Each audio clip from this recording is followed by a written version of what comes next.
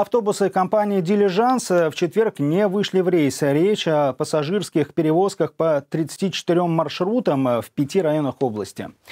Перевозчик не смог договориться с региональным министерством промышленности, транспорта и инновационных технологий. Конкурс компания выиграла в июле и только за сентябрь перевезла 40 тысяч пассажиров, 22 э, тысячи из которых льготники. Однако 6 маршрутов из 34 оказались убыточными, и от работы на них компания решила отказаться. Без субсидий правительства работать, конечно, можно сказать, что нереально. Шесть маршрутов были убыточные, остальные были, я думаю, на, на уровне равно нулю.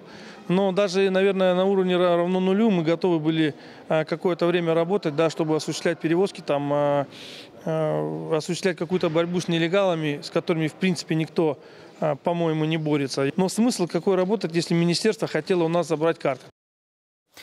В итоге, заранее уведомив э, профильное министерство, 13 октября перевозчик не выпустил свои автобусы в рейс. 18 октября состоится суд, по решению которого Минтранс либо пойдет на уступки компании-перевозчику, либо лишит его всех 34 маршрутов и по конкурсу экстренно будет искать на них нового перевозчика.